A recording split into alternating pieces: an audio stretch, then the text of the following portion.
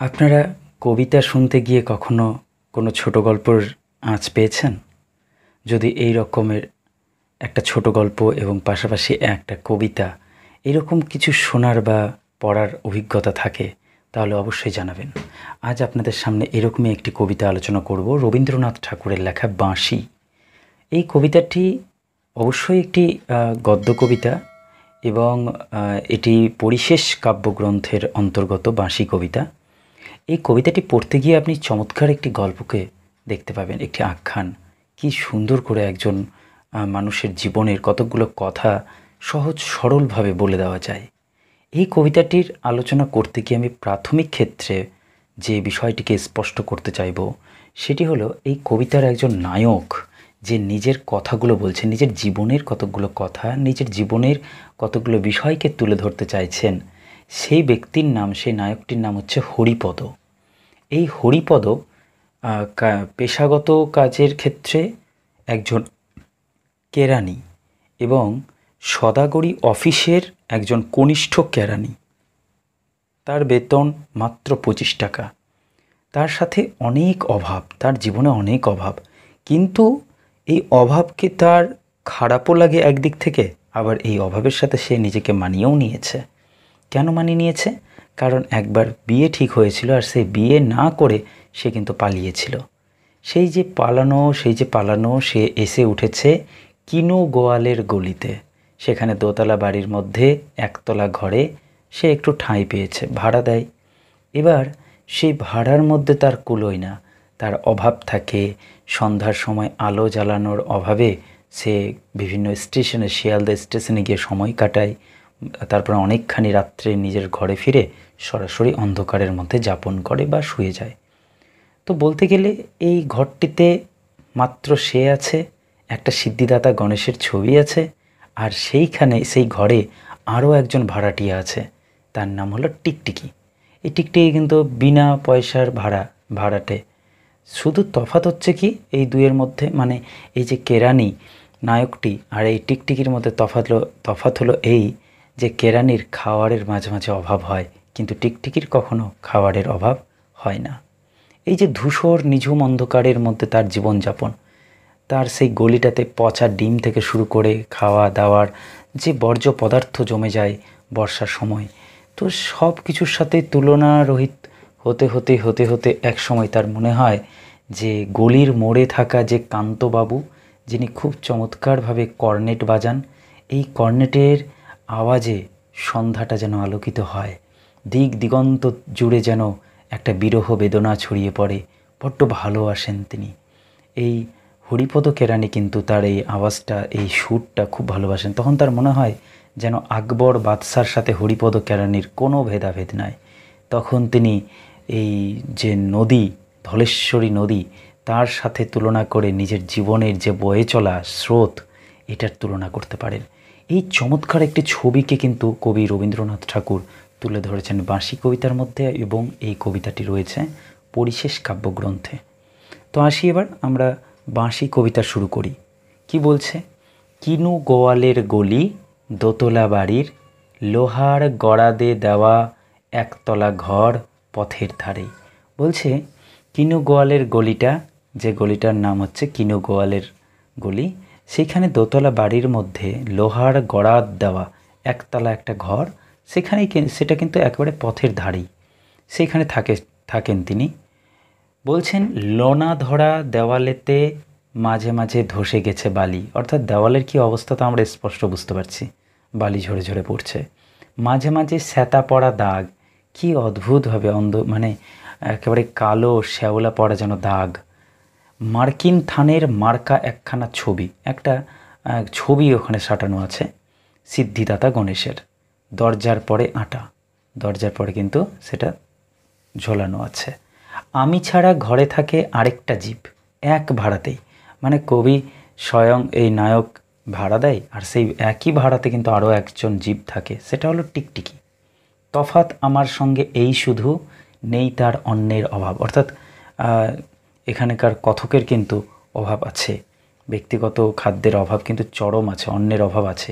কিন্তু সে টিকটিকিটার কখনো কিন্তু খাদ্যের অভাব বা অন্যের অভাব হয় না। এবার আসি আমি এই কেরানির কোথায় চাকরি করে, সন্ধ্যাটা কীভাবে কাটিয়ে দেয় আর তার বেতন কত। বলছে, বেতন পঁচিশ টাকা। সদাগরি আফিসের কনিষ্ঠ কেরানি। কনিষ্ঠ কথার অর্থ হচ্ছে সবচেয়ে ছোট কেরানি। খেতে পাই দত্তদের বাড়ি, ছেলেকে পড়িয়ে। অর্থাৎ খাওয়ার দাওয়ার হয়ে যায় দত্তদের বাড়িতে গিয়ে। কারণ সেই বাড়ির একজন ছেলেকে বা বাচ্চাকে তিনি টিউশন পড়ান। শিয়ালদা স্টেশনে যাই, সন্ধেটা কাটিয়ে আসি। খুব সহজ, সরল কথা। তিনি সন্ধেটা কাটিয়ে আসেন শিয়ালদা স্টেশনে গিয়ে। কেন? আলো জ্বালবার দায় বাঁচে। অর্থাৎ আলো জ্বালাতে হয় না, সেটা বেঁচে যায়। ইঞ্জিনের ধস ধস বাঁশির আওয়াজ। এবার স্টেশনে থাকতে গেলে গাড়ির তো আওয়াজ থাকবে, ইঞ্জিনের আওয়াজ। বাঁশির আওয়াজ। যাত্রীর ব্যস্ততা থাকবে। কুলি হাঁকাহাঁকি করবে। সাড়ে দশটা বেজে যায় রাত্রিবেলা। তারপরে ঘরে এসে নিরালা নিঝুম অন্ধকার। সে অন্ধকারের মধ্যে এবার কথক থাকেন। এবার আসছে একটা নদীর তীরের কথা এবং আসছে পিসির কথা, কথকের পিসি। বলছে, ধলেশ্বরী নদী তীরে পিসিদের গ্রাম। এই ধলেশ্বরী নদীর কথা আমরা এবার পেলাম। বলছে, ধলেশ্বরী নদী তীরে পিসিদের গ্রাম তার দেওরের মেয়ে। অর্থাৎ পিসির দেওরের, আমাদের যে কথক, তার পিসির দেওরের মেয়ে, তার সাথে কিন্তু এই কথকের বিয়েটা ঠিকঠাক হয়েছিল। তাই বলছে, এই অভাগার সাথে তার বিবাহের ছিল ঠিকঠাক। শুভ লগ্ন, অর্থাৎ লগ্নটা খুবই শুভ ছিল। নিশ্চিত প্রমাণ পাওয়া গেল। এত শুভ লগ্ন ছিল যে প্রমাণ পাওয়া গেল, সেই লগ্নেই তিনি পালাতে পেরেছিলেন। অর্থাৎ বিয়ে করেননি, সংসার করেননি, তিনি পালিয়ে গেছেন। যাই হোক, মেয়েটা তো রক্ষে পেল। আমি তথই বচ অর্থাৎ আমার যা হওয়ার হয়েছে, কিন্তু মেয়েটা তো রক্ষা পেয়েছে। আমার মতো একটা মানে কথকের মতো একজন এইভাবে এই রকম অসহায় মানুষের সাথে তো তার বিয়ে হয়নি। ঘরেতে এলো না সে তো মনে তার নিত্য আসা যাওয়া। অদ্ভুত সুন্দর কথা যে সে মেয়েটাকে তো তিনি ঘরে তুলে নিতে পারেননি, কিন্তু মনের মধ্যে একটা ছাপ রেখে দিয়েছে মেয়েটা। আর মনের মধ্যে মাঝে মাঝে তিনি সেই মেয়েটিকে দেখতে পান। পরনে ঢাকাই শাড়ি কপালে সিঁদুর। মেয়েটাকে কী অবস্থা দেখতে পায়? যে মেয়েটা ঢাকাই শাড়ি পরে কপালে সিঁদুর পরে তার ঘরে, অর্থাৎ মনের ঘরে যাতায়াত করছে। এরপরে বর্ষার সময় বলছেন যে, বর্ষা ঘন ঘর। আমরা তো জানি, বর্ষাকাল প্রেমিক প্রেমিকার জন্য অত্যন্ত মাধুর্যময় একটি সময় বা একটি ঋতু। বলছে, বর্ষা ঘন ঘর, ট্রামের খরচা বাড়ে। অর্থাৎ অফিস যাতায়াতের ক্ষেত্রে কিন্তু ট্রামে করে যেতে খরচা বেড়ে যায় বর্ষার সময়। মাঝে মাঝে মাইনেও কাটা যায়। মাঝে মাঝে সময়ের অভাবে বা সময় করে সঠিক সময় অফিসে না যাওয়ার কারণে বা বিভিন্ন কারণবশত মাইনেও কিন্তু কাটা যায় তার। এইবার আসছি গলিটার কথা, যে গলিটাতে তিনি বসবাস করেন। গলিটার কোণে কোণে জমে ওঠে, পচে ওঠে আমের খোসা ও আঁটি, কাঁঠালের ভুতি, মাছের কানকা মোড়া বেড়ালের ছানা ছাই পাঁস আরও কত কী যে। ছাতার অবস্থাখানা জরিমানা দেওয়া, মাইনের মতো। কি চমৎকার কথা। যে এত অবস্থা খারাপ যে গলিটার, যেখানে চারিদিকে আমের খোসা, আটি, কাঁঠালের ভুতি, মাছের কানকো, মরা বেড়ালের ছানা চারদিকে ছড়ানো ছেটানো আছে, তারই মাঝখানে ছাতাটার অবস্থা এমন হয়েছে যেন মাইনের মতো। মাইনেটা যেন জরিমানা দেওয়া মাইনে। এইরকম মাইনের মতো বহু ছিদ্রতার, অর্থাৎ ছাতাটার মতো খুব ছিদ্র। আর সেই ছিদ্র দিয়ে কি হয়? আপিসের সাজ। আচ্ছা অফিসের ঘটনাটা কি বলছে এবার? গোপীকান্ত গোসাইয়ের মনটা যেমন সর্বদাই রসসিক্ত থাকে, ছাতার সাথে কিন্তু অফিসের একজন ব্যক্তির তুলনা করছেন। অফিসের সে ব্যক্তিকে গোপীকান্ত গোসাই, তার মনটা কিন্তু খুবই রসসিক্ত মানে খুবই আনন্দিত মন, রসে সিক্ত একেবারে। তেমনি ছাতাটাও যেন রসসিক্ত হয়ে থাকে, জলে ভেজা। বাদলের কালো ছায়া স্যাঁত স্যাঁতে ঘরটাতে ঢুকে কলে পড়া জন্তুর মতন মূর্ছায় অসার। বলছে, বাদল, ঘন মেঘ ছায়া যখন আসে, তখন ওই স্যাঁত স্যাঁতে ঘরটা তো ঢোকার পর এখানে কালো ছায়াটা অসার হয়ে ছড়িয়ে থাকে। দিনরাত মনে হয় কোন আধমোড়া জগতের সঙ্গে যেন আষ্টে পৃষ্ঠে বাধা পড়ে আছি। বড্ড খারাপ লাগে কথকের, ভালো লাগে না এইসব দিনে। এইসব জগতে। মনে হয় যেন কোন মৃত আধমরা একটা জগতের মধ্যে তিনি বাধা পড়ে আছেন। কিন্তু এই জীবনেই তিনি খুঁজে পান আবার একটা বাঁচার স্নিগ্ধতা। কোথায়? আমরা তো জানি, কবি রবীন্দ্রনাথ ঠাকুর যখনই জীবনকে দেখেছেন অসুন্দরের মধ্যে, তখনই সেই অসুন্দরের ভেতর কিন্তু সুন্দরের আরাধনা করেছেন। তিনি দেখেছেন এই জীবনই তার কাছে সুন্দর হয়ে উঠছে। কীভাবে? তিনি এবার দৃশ্য দেখাচ্ছেন যে এই গলির মোড়েই থাকেন কান্তবাবু। কে কান্তবাবু?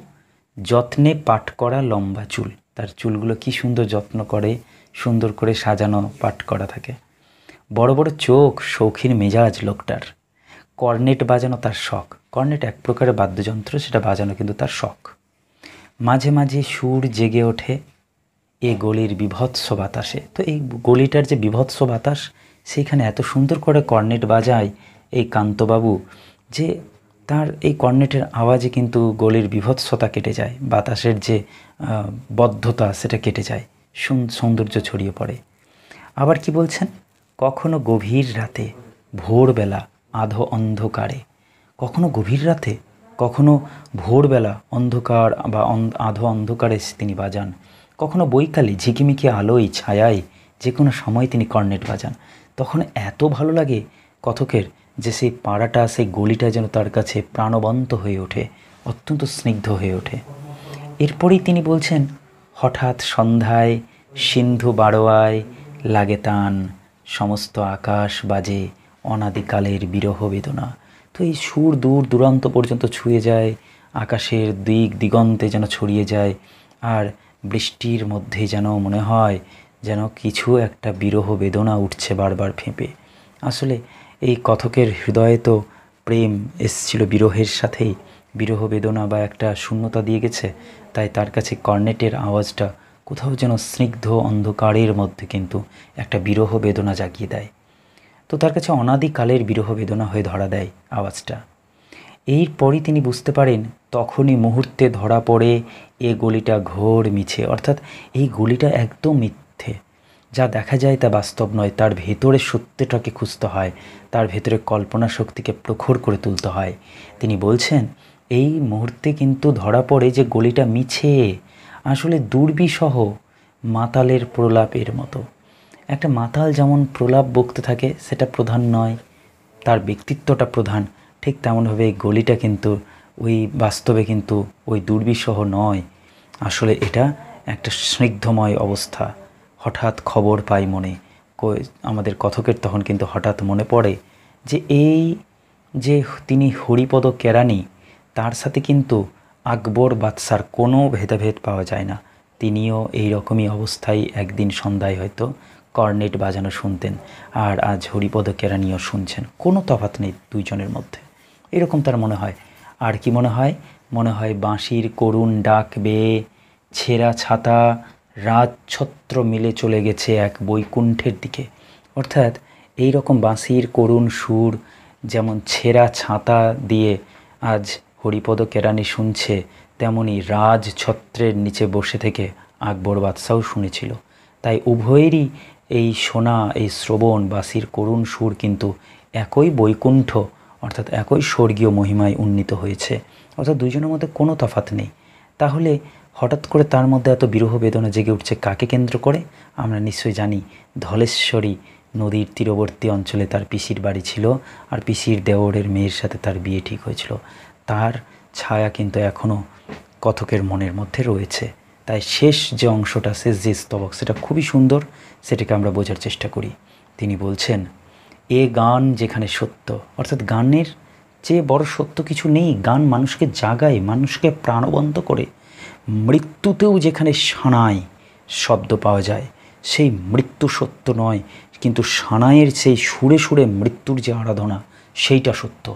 জীবনের সত্যকে খুঁজতে গেলে সুরে সুরে খুঁজতে হয়। তিনি বলছেন, এই গান যেখানে সত্য, অনন্ত গধূলি লগ্নে, অর্থাৎ অনন্তকাল ধরে যত গধূলি লগ্ন আসুক না কেন, সেইখানে বহে চলে ধলেশ্বরী। অর্থাৎ এই গানের মধ্যে দিয়ে কিন্তু প্রেমকে খোঁজা যায়, সৌন্দর্যকে খোঁজা যায়। তাই অনন্ত যত গধূলি লগ্ন থাক, যত সন্ধ্যা থাক, কিন্তু সেই সন্ধ্যার অন্ধকারের মধ্যেও কিন্তু সেখানে চলে, বয়ে চলে ধলেশ্বরী নদী। আর ধলেশ্বরী নদীর ধলেশ্বরী নদীর তীরে তমাল গাছের ঘন ছায়া থাকে।